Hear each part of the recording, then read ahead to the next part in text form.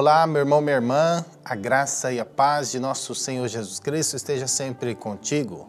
Que alegria estarmos juntos mais uma vez para o nosso programa diário Palavra de Deus Meditada, programa onde a palavra de Deus toca o nosso coração. Hoje nós temos a alegria de ter conosco a nossa irmã, irmã Denise, que vai partilhar a palavra de Deus para nós. Antes de irmos para a nossa meditação, vamos pedir a intercessão da bem-aventurada Virgem Maria, Mãe de Deus e nossa mãe, que ela conduza o nosso coração, faça de nós homens e mulheres acolhedores da palavra. Rezemos juntos. Ave Maria, cheia de graça, o Senhor é convosco. Bendita sois vós entre as mulheres, e bendito é o fruto do vosso ventre, Jesus. Santa Maria, Mãe de Deus, rogai por nós, pecadores, agora e na hora de nossa morte. Amém. Boa tarde, meu irmão e minha irmã. Estamos aqui neste dia abençoado, nessa segunda-feira, iniciando essa semana. A semana que foi iniciada com a vivência do domingo, Dia do Senhor. E hoje a liturgia nos apresenta um grande santo na nossa igreja, São Tomé. Quantos de nós conhecemos Tomé, não é mesmo? Às vezes até tem alguns ditados populares que diz: "Nossa, incrédulo como Tomé". Pois bem, Tomé é um dos discípulos de Jesus e no início ele não acreditou na ressurreição porque ele não viu o Senhor.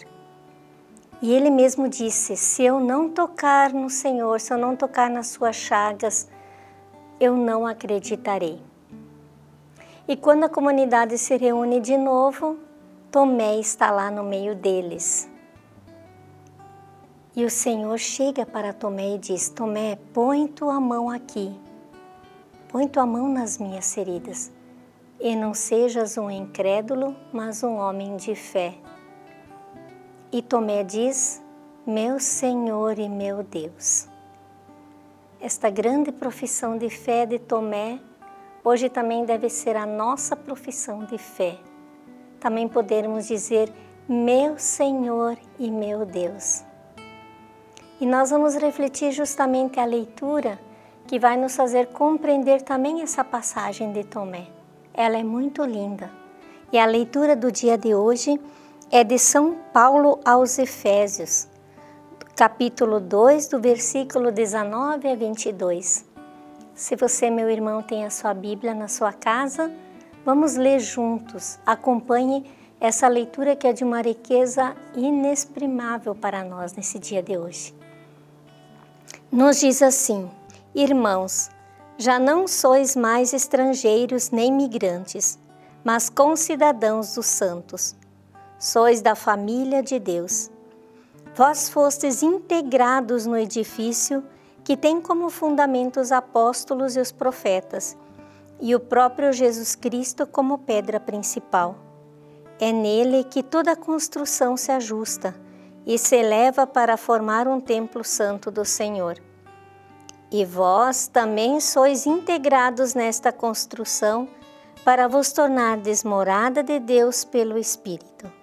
Palavra do Senhor, graças a Deus. A riqueza dessa leitura vai nos fazer ver a vida de comunidade de dois jeitos diferentes. Gostaria de propor uma comparação. Quando nós vamos visitar uma cidade, nós vamos como visitantes dessa cidade. A gente vai visitar a cidade, conhece os pontos turísticos, conhece as coisas mais bonitas que a gente pode conhecer, vê as pessoas, quem caminha na rua, quem vai, quem vem. Mas não existe entre nós e aquela cidade que a gente vai visitar nenhum vínculo. A gente simplesmente olha e observa. Estamos ali para ver o que tem de melhor, o que tem de mais bonito, para, quem sabe, enriquecer a nossa vida. Mas não temos vínculo com aquela cidade. O morador da cidade ele não. Ele tem vínculo com a cidade. Ele sabe por que tal coisa é importante. Ele conhece a pessoa que está caminhando na rua. Ele sabe dos problemas um dos outros. Bom, assim deveria saber não para falar mal, mas para ajudar. Quem está na cidade interage e vive melhor. Agora olhemos para a nossa comunidade, assim como diz São Paulo aos Efésios, porque ele vai nos dizendo: Vós não sois mais estrangeiros nem imigrantes. Vocês não são mais aqueles que vêm de fora, somente para olhar, somente para apreciar, ver o que tem e depois vai embora, sem se envolver. Não, ele diz que não, nós não somos assim na igreja. O que que nós somos na igreja? Nós somos da família de Deus. Que lindo! Como é bonito a gente se sentir família. Como devemos resgatar na nossa vida esse sentimento de família. Família entre nós mesmos, mas família de Deus. Integrados, como ele diz, num edifício que vem a partir dos apóstolos, a partir de Tomé. Nós não estamos ali só para olhar a nossa igreja e dizer: ah, aquilo tá bom, olha como estão fazendo ruim, puxa, ninguém se envolve, ninguém trabalha. Não. Isso quem faz é quem vem de fora. É quem vem só olhar, apreciar e não se envolve. Nós somos parte, nós somos família, nós somos parte desse edifício espiritual que foi fundado nos apóstolos. E o apóstolo São Tomé vai nos mostrando isso. Ele não conseguiu encontrar Jesus fora da comunidade. Jesus apareceu na comunidade, Tomé não estava. A nossa fé não se fortifica fora da comunidade. A nossa fé precisa da comunidade para ver Jesus. Foi só lá de novo, quando Tomé estava na comunidade, que ele viu Cristo ressuscitado. Foi só quando ele estava na comunidade, passando as mesmas dificuldades, sofrendo as perseguições, às vezes discutindo entre eles, porque é isso a vida de família. Nem tudo é sempre certo, igualzinho, perfeito. Não existe nenhuma comunidade onde isso acontece. Por quê? Porque cada um de nós é diferente. Mas é ali que Cristo se manifesta. É ali que é o fundamento da nossa fé. Olha como São Paulo diz: Vós também sois integrados nesta construção, para vos tornar desmorada de Deus pelo Espírito. Quando Tomé esteve na comunidade, quando Tomé professou a fé, ele também se tornou testemunha de Jesus. Deu a vida por Jesus. Quando nós estamos na comunidade de São Paulo, nós também podemos pela fé, pelo Espírito Santo, nos tornar morada de Deus. E quando Deus mora em nós, tudo se modifica. Tomé continuou tendo dificuldades, teve, teve perseguições, deu até a vida por Jesus.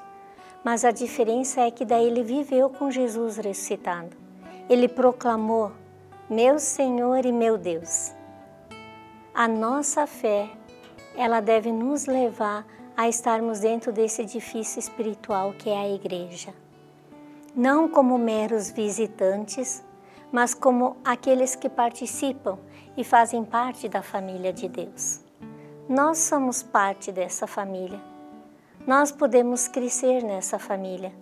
Nós podemos dar a nossa contribuição nessa família e fazer como Tomé, ali encontrar Jesus encontrar o Cristo que morreu, foi crucificado, morreu, né? E mostra as suas chagas a nós e diz: Não sejam incrédulos, mas homens e mulheres de fé. Jesus está vivo entre nós e pede de nós de estarmos juntos com Ele, junto com a igreja, para edificarmos a igreja e sermos assim moradas de Deus através do Espírito Santo.